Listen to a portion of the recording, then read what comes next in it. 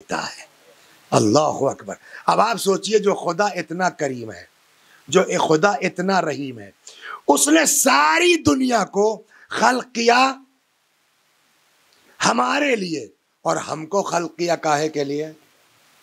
मैंने जो आयत पढ़ी है, इरशाद होता हुआ, माँ खलकतुलजिन्न वल इंस इल्ला हमने जिनों को, इंसानों को पैदा नहीं किया, मगर ये कि वो मेरी इबादत करें। तो हमारे वजूद का मकसद क्या है?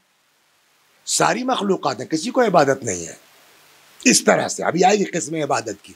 हमको काहे के लिए खल किया? अपनी इबादत के लिए। यहाँ हम क्यों आए हैं? हम यहाँ क्यों आए हैं? मजलिस पढ़ने के लिए, है ना?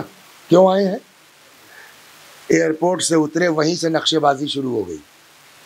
तो मुझे भूख लगी है तो वो बेचारा कहने लगा, मौली साहब, बर्गर ले आए हैं। तो मुझे प्यास लगी है तो मौली साहब पानी ले आए हैं।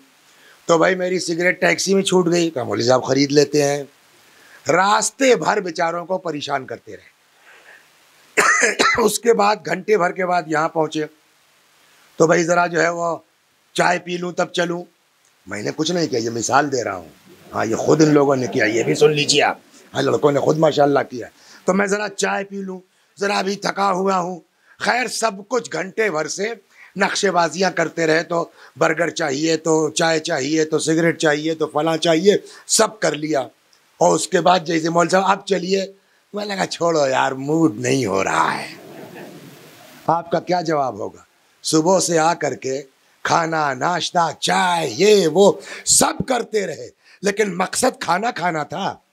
मकसद चाय पीना था। हाँ मकसद सिगरेट पीना था, का मकसद मजलिस पढ़ना था। चूँकि असल मकसद के लिए ये सब ज़रूरी थे,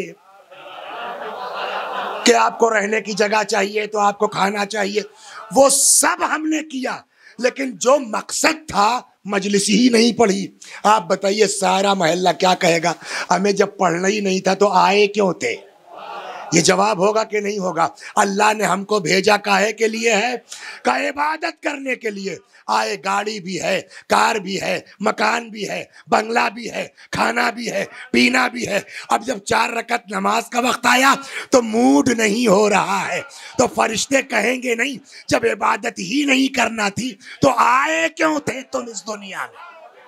सलवाद मोहम्मद आलम। तो असल चीज़ क्या है हमारी? বাংলাদেশ